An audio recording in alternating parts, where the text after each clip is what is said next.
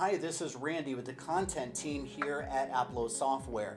We have just completed an online resource that's absolutely free for nonprofits and churches to be able to give them tools and resources to deal with the challenges of COVID 19. Just go ahead and click the link below, or go ahead and type in the URL that you see on your screen, and you'll be taken straight away to the resource. We're happy to help.